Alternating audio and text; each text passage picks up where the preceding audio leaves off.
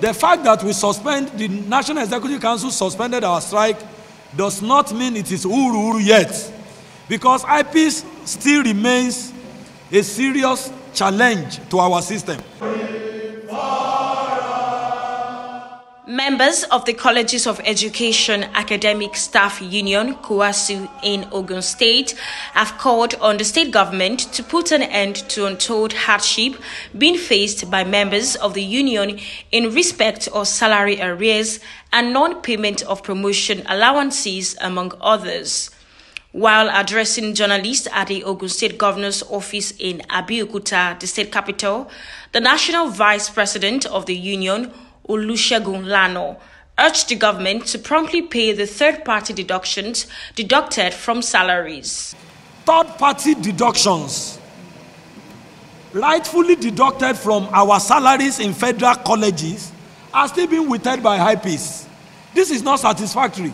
If you have paid net salaries, why are you withholding the third-party deductions? It is immoral, illegal, and highly criminal for any employer to pay net salaries and withhold third party deductions.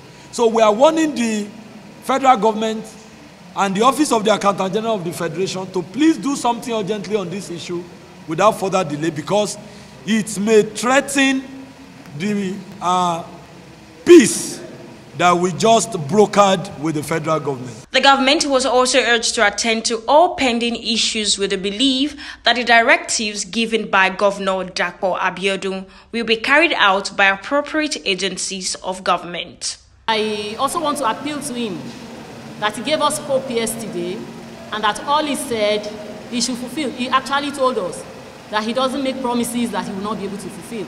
And so we believe in what he has told us and we are looking forward to the implementation.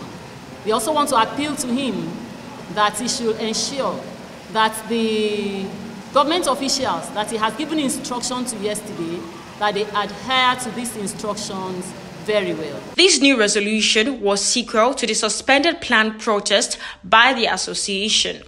From Abeokuta, Jumoke Adebare, reporting for Kaftan Television News.